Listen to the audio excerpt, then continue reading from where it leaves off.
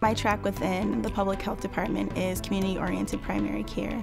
And so we focus on primary care issues and we also look to involve the community in the care.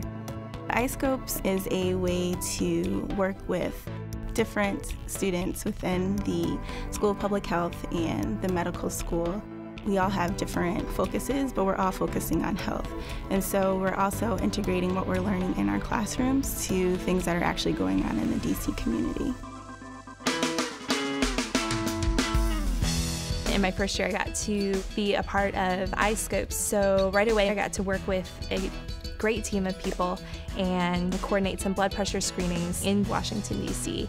My group worked with Southwest Community Health Center, which is a Unity Healthcare clinic, which are safety net clinics in DC.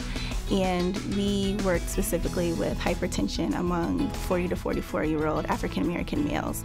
Working with them during the fall semester and then coming back and presenting them with the information and having them be receptive to it was really an encouraging moment and it gave me hope that I could actually do some good in the future it would be pretty easy to be very involved in academics and stand by, but GW instead, you know, seems to roll up its sleeves and get right alongside um, the people in the streets, which I really enjoy being a part of.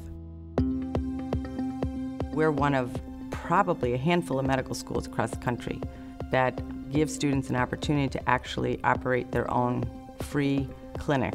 And it's another way for our students to get out into the community and really interact with individuals and patients who are seeking services but have trouble finding them.